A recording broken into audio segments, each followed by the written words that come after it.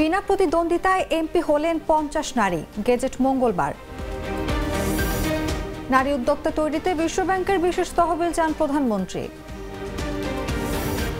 United medical college বন্ধ ও জড়িতদের ফাঁসি চান আয়ানের বাবা।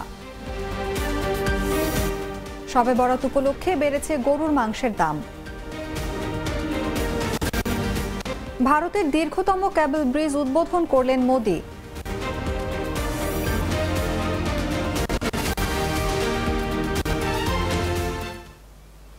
এতক্ষণ শুনছিলেন সংবাদ শিরোনাম। দর্শক আমন্ত্রণ সন্ধ্যা ছটার সংবাদে। সাথে আছি আমি অনুভা বিশ্বাস।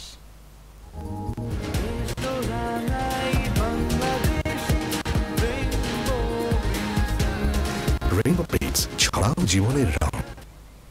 চলে যাচ্ছে বিস্তারিত খবরে।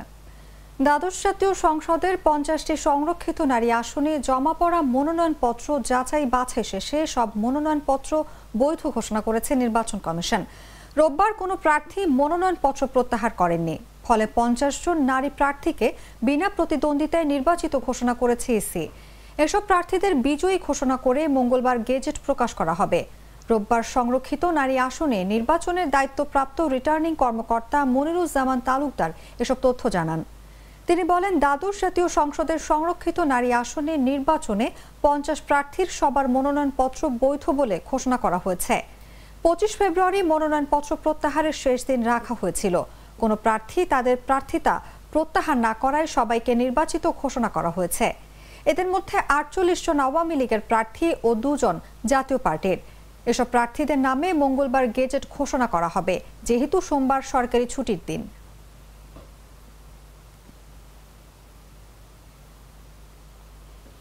প্রধানমন্ত্রী শেখ হাসিনা বিশ্ব ব্যাংকের কাছে আর্থ সামাজিক অগ্রগতির জন্য আরও বেশি নারী উদ্যোক্তা তৈরির লক্ষ্যে বিশেষ তহবিল এবং জলবায়ু সংক্রান্ত প্রকল্প বাস্তবায়নে রেয়াতি হারে আরও ঋণ চেয়েছেন।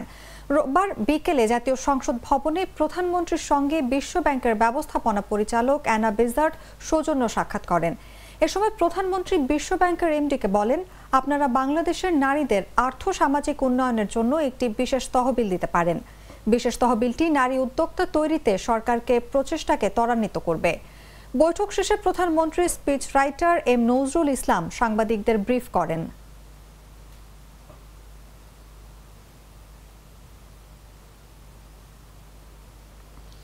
রাজধানীর বাড্ডা থানার সাতারকুল এলাকায় অবস্থিত ইউনাইটেড মেডিকেল কলেজ ও হাসপাতালে সুন্নতে খতনা করাতে গিয়ে শিশু আয়ানের মৃত্যুর ঘটনায় জড়িত চিকিৎসকদের ফাঁসি ও হাসপাতাল বন্ধের দাবি জানিয়েছেন শিশু আয়ানের বাবা মোহাম্মদ শামীম আহমেদ। রোববার দুপুরে রাজধানীর মিন্টো রোডে ডিবি কার্যালয়ে ডিএমপির অতিরিক্ত কমিশনার মোহাম্মদ হারুন অর রশিদের সঙ্গে সাক্ষাৎ শেষে লিখিত অভিযোগ জমা দেন তিনি। ডিবি কার্যালয় থেকে বেরিয়ে সাংবাদিকদের প্রশ্নের জবাবে দাবি জানান শামীম আহমেদ। ডিবি অফিসারের একটাই কারণ, আমরা গত নয় তারিখে বাড্ডা থানাতে মামলা করেছি।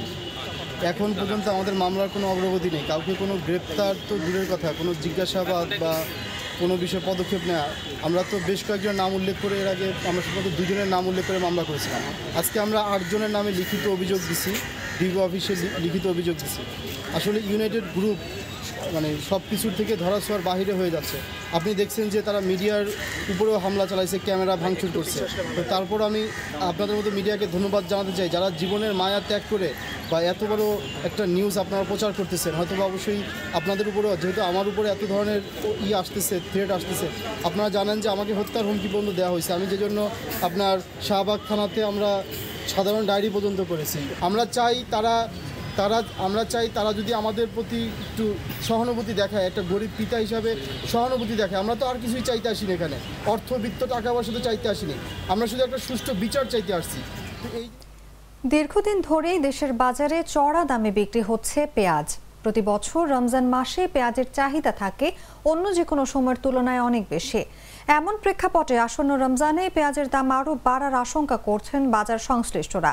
এ অবস্থায় আসন্ন রমজানে বাজারে সরবরাহ ও দাম স্বাভাবিক রাখতে রোজার আগেই ভারত থেকে পঞ্চাশ হাজার টন পেঁয়াজ আমদানি করতে চায় সরকার। দ্বিপাক্ষিক চুক্তির আওতায় বাংলাদেশে এই পেঁয়াজ রপ্তানি করবে ভারত।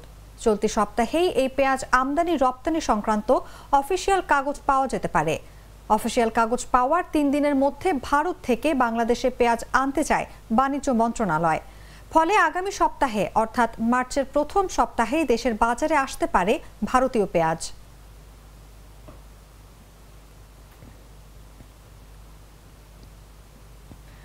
পবিত্র শবে বরাত উপলক্ষে রাজধানীর বাজারে গরুর মাংসের দাম বেড়েছে। দুদিন আগে সাতশো পঞ্চাশ টাকা কেজি দরে মাংস বিক্রি হলেও রোববার তা বেড়ে হয়েছে সাতশো আশি থেকে সাতশো নব্বই টাকা। বিকেল গড়িয়ে সন্ধ্যা নামলে দাম আরও বাড়তে পারে বলে জানিয়েছেন বিক্রেতারা। মাংস ব্যবসায়ীদের দাবি, বাজারে হঠাৎ গত দু তিন দিন গরুর দাম বেড়েছে। আবার মাংসের চাহিদাও বেশি। সব মিলিয়ে দাম কিছুটা বেড়েছে। সন্ধ্যার দিকে বিক্রি বাড়লে দাম আরও বাড়তে পারে, সামনে রোজা। ফলে দাম আর কমার সম্ভাবনা নেই। মধ্যবাটা এলাকায় মাংসের দোকানে বেশ ভিড়ও দেখা গেছে। অধিকাংশই সবে বরাত উপলক্ষে পরিবারের জন্য মাংস নিতে এসেছেন। কেউ কেউ দাম বেশি শুনে ফিরে যাচ্ছেন। অনেকেই আবার বাড়তি দামেই কিনছেন। এদিকে পাড়া মহল্লায়ও বিভিন্ন জায়গায় সবে বরাত উপলক্ষে গরু জবাই করতে দেখা গেছে। সেখানে সাতশো নব্বই টাকায় মাংস বিক্রি হচ্ছে।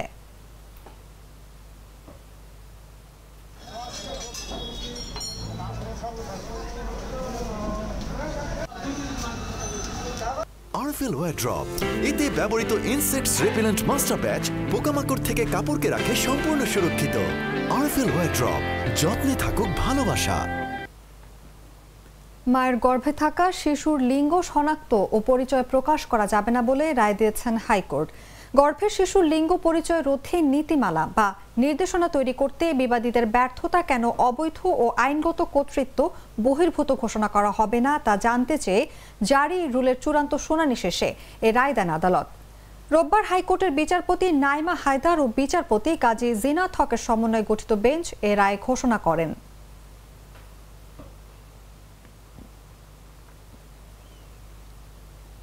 পিলখানায় হত্যাকাণ্ডের চূড়ান্ত বিচার দ্রুত শেষ হবে বলে আশা প্রকাশ করেছেন স্বরাষ্ট্রমন্ত্রী আসাদুজ্জামান খান কামাল। তিনি বলেন, পিলখানায় একটি বড় হত্যাকাণ্ড হয়েছিল। বিচারের জন্য এগুলোকে একটি কাঠামোতে আনতে হবে। তদন্ত শেষ করা একটা বিরাট কর্মকাণ্ড ছিল। এগুলো শেষ হয়েছে। আপনারা দেখেছেন, প্রাথমিক একটা বিচার হয়েছে। কাজে চূড়ান্ত বিচার হয়তো অল্প দিনের মধ্যে শেষ হয়ে যাবে। আমরা আশা করছি। সকালে বনানীর সামরিক কবরস্থানে পিলখানায় শহীদদের কবরে পুষ্পস্তবক অর্পণ শেষে সাংবাদিকদের প্রশ্নের জবাবে তিনি এসব কথা বলেন।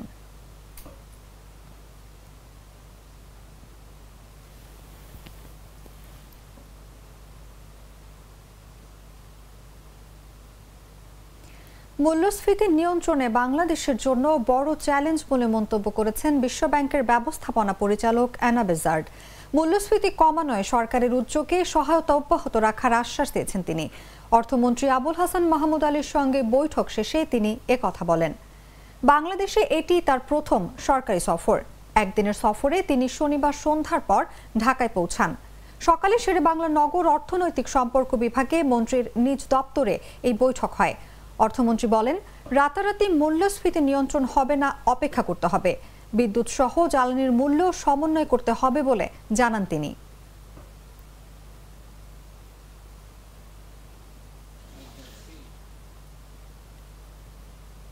জানাব আন্তর্জাতিক সংবাদ।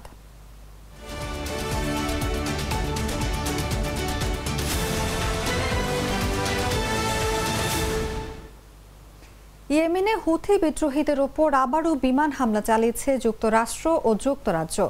এ নিয়ে গত দেড় মাসে চতুর্থবারের মতো যৌথ হামলা চালালো মিত্র দেশ দুটি। গত শনিবারের এই হামলায় হুথিদের অন্তত আঠেরোটি স্থাপনা ধ্বংস করার দাবি করেছে মার্কিন প্রতিরক্ষা বিভাগের সদর দপ্তর পেন্টাগন। হামলার লক্ষ্যবস্তুগুলোর মধ্যে হুতিদের ব্যবহৃত হেলিকপ্টার, ড্রোন, রাডার, অস্ত্র গুদাম এবং আকাশ প্রতিরক্ষা ব্যবস্থা ছিল বলে জানিয়েছে তারা। Australia, Bahrain, Canada, Denmark, Netherlands এবং নিউজিল্যান্ড এই হামলাকে সমর্থন দিয়েছে বলে জানানো হয়েছে।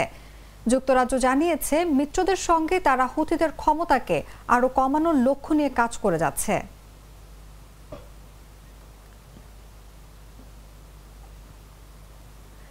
গুজরাটে নবনির্মিত সুদর্শন সেতুর উদ্বোধন করলেন ভারতীয় প্রধানমন্ত্রী নরেন্দ্র মোদী। দুই দশমিক তিন কিলোমিটার দীর্ঘ সেতুটি ভারতের দীর্ঘতম তারযুক্ত সেতু। এটি তৈরিতে ব্যয় হয়েছে নশো উনআশি কোটি রুপি। গুজরাটে নবনির্মিত সুদর্শন সেতুর উদ্বোধন করলেন ভারতীয় প্রধানমন্ত্রী নরেন্দ্র মোদী। দুই দশমিক তিন কিলোমিটার দীর্ঘ সেতুটি ভারতের দীর্ঘতম তারযুক্ত সেতু। এটি তৈরিতে ব্যয় হয়েছে নয়শো উনআশি কোটি রুপি। দুই হাজার সতেরো সালে এই সেতুর ভিত্তি ভিত্তিপ্রস্তর স্থাপন করেছিলেন প্রধানমন্ত্রী মোদী। প্রথমে জানা গিয়েছিল এর নাম সিগনেচার ব্রিজ দেওয়া হবে। পরে তা বদলে সুদর্শন সেতু রাখা হয় ভারতের কেন্দ্রীয় সরকারের পক্ষ থেকে জানানো হয়েছে চার লেনের সেতুটি গুজরাতের ওখা এবং বেইট দ্বারকা দ্বীপকে সংযুক্ত করবে এর উপর বসানো রয়েছে সোলার প্যানেল যা থেকে প্রতিদিন এক মেগাওয়াট সৌর বিদ্যুৎ তৈরি হবে संरक्षण में अपने प्रगति के संरक्षण में अपने अच्छा अ, ब- एक जो चीज हम चाहते हैं कि ecosystem आप अपने शब्दों में इस बात का वर्णन कीजिए जब- সুদর্শন সেতুর মধ্যেই রয়েছে ফুটপাত তার দুপাশে ভগবত গীতার স্তোত্র এবং শ্রীকৃষ্ণের ছবি লাগানো হয়েছে বেইট দ্বারকা ওখা বন্দরের কাছে দ্বারকা শহর থেকে কমপক্ষে তিরিশ কিলোমিটার দূরে অবস্থিত সুদর্শন সেতু তৈরি হওয়ার আগে পুণ্যার্থীদের নৌকায় করে যাতায়াত করতে হতো এখন সেই সমস্যার সমাধান হলো বলে দাবি করা হচ্ছে करना पड़ता था आप देखिए कि अब वो ये दिक्कत नहीं आएगी क्योंकि सिग्नेचर ब्रिज जो है वो उसके खुलने से ये जो दिक्कत है अब नहीं आएगी और तमाम जो टूरिस्ट हैं वो साल के तीन दिन सुदर्शन सेतु के जरिए बेट द्वारका पहुंच पाएंगे এদিন সুদর্শন সেতু ছাড়াও রাজকোটে গুজরাটের প্রথম এইমস বা All India Institute of Medical Sciences উদ্বোধন করবেন নরেন্দ্র মোদী এছাড়া ভার্চুয়ালি অন্ধ্রপ্রদেশ পাঞ্জাব উত্তরপ্রদেশ এবং পশ্চিমবঙ্গে নতুন নির্মিত চারটি এইমস উদ্বোধন করবেন তিনি सिग्नेचर ब्रिज के दोनों तरफ जो अ, प्रवेश द्वार है उन पर भगवान श्री कृष्ण के बड़े बड़े जो है अ, मूर्तियां और साथ ही साथ जीवन चरित्र से जुड़े हुए प्रसंग लगाए गए हैं सुदर्शन हाथ में लिए हुए भगवान श्री कृष्ण का एक अ, ब- ब- ब्रिज के दूसरी तरफ रेप्लिका बनाया गया है जो कि बताता है कि जी। किस तरीके से भगवान अपने हाथ में सुदर्शन को धारण करते थे और आज हम गौरव के साथ कर सकते हैं। দর্শক এই ছিল সন্ধ্যা ছটার সংবাদে এতক্ষণ সাথে থাকার জন্য ধন্যবাদ সবাইকে